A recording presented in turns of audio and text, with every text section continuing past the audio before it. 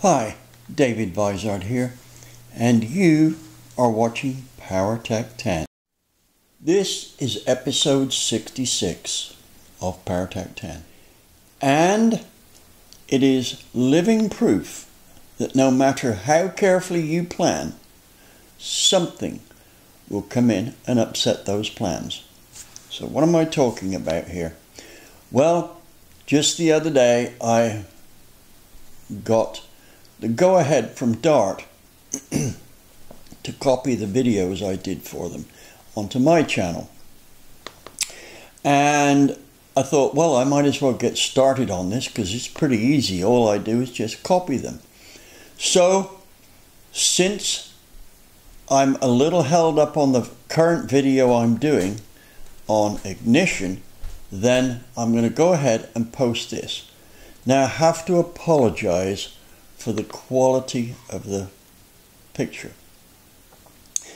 The guy that filmed this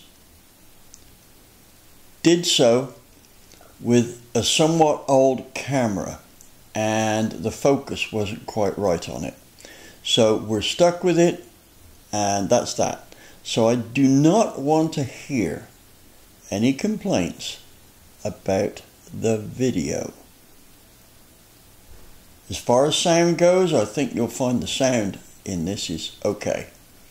So let's forge ahead with this first one. Uh, and by the way, this series is more aimed at professionals. It's a, it's a, a seminar I did at PRI for DART. Incidentally, I filled the audience uh, space there, which the previous lecture was um, uh, done by the late Dick Maskin and David from um, Reher Morris. Uh, and they got about a half a room full of people, and I got probably one and a half rooms, and that was the last seminar. And people waited up to two hours after for me to autograph their books. Well, I want to thank all those guys who spent all that time waiting for me to finish. Anyway, let's get on with the video.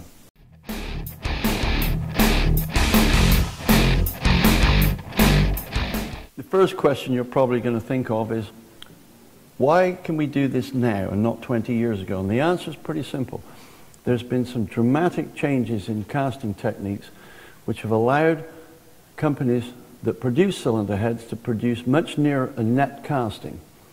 And uh, uh, those casting techniques, actually a lot of the original techniques, although they've been modified somewhat, started off in Formula One about 30 years ago. Um, when Cosworth got into the uh, business of doing Indy engines, they had to come up with a new technique for casting that was much more um, uh, solid, less porous, because the, uh, the engines for the, the, the heads for the DFV became porous when they got about 50 pounds of boost in them. Um, so you could say that was the start of it. And what that's done is it's allowed companies such as Dart to produce cylinder heads that were very close to what their original designs were. Now this doesn't mean they are right there. What it means is they are very close. Also, we've had a surge in the number of companies making cylinder heads. So the, if anyone's going to stay on top of the pile, they have to keep on doing R&D. And I'm sure most of you are aware of the fact that DART do a lot of R&D. Uh, you can see it out in the pro stock ranks. And um, uh, they have probably one of the best cylinder head R&D facilities there, there is in the country in terms of, of cylinder head development, plus a huge manufacturing capability, plus the ability to make them in such volume that they are a volume producer and of course, with a volume production goes cost reduction. Anyway, so what this means is that if you compare porting now to what it was 30 years ago, porting 30 years ago was 90% removing metal and 10% shaping it to the final shape. Now it's 90% final shaping and 10% removing metal. So you don't spend the time uh, um, porting the cylinder heads.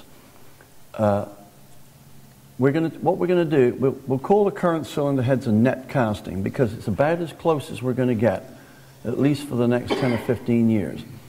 So what this allows us to do is to spend our time putting the finishing touches on a cylinder head. Now you might say, well, why don't I just buy a CNC head?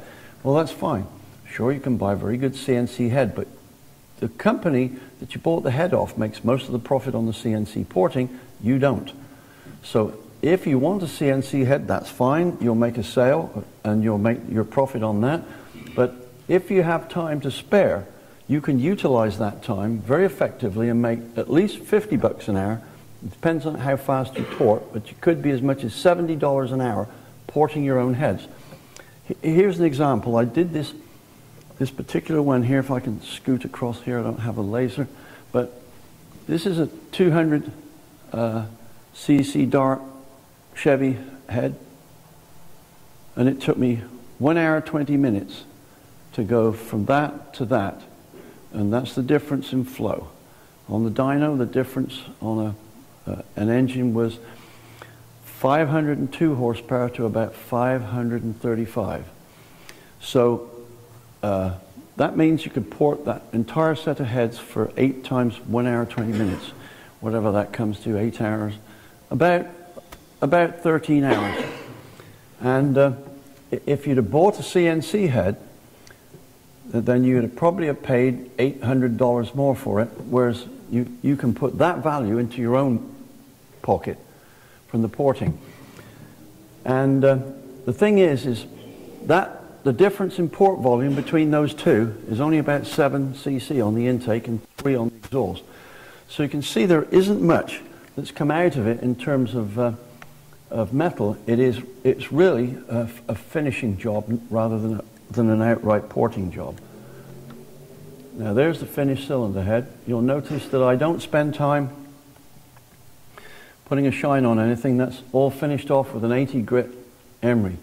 Now if you've got customers going to buy cylinder heads, they may want to see a shine on there. Not that it does any good, but uh, unfortunately the term port and polish has become ingrained in the, the, the hot rod uh, uh, vernacular there. So um, if you're going to build an engine and you're supplying the customer with heads and they don't need to see them, you don't need to use anything uh, finer than, than about an 80 grit uh, finish on it.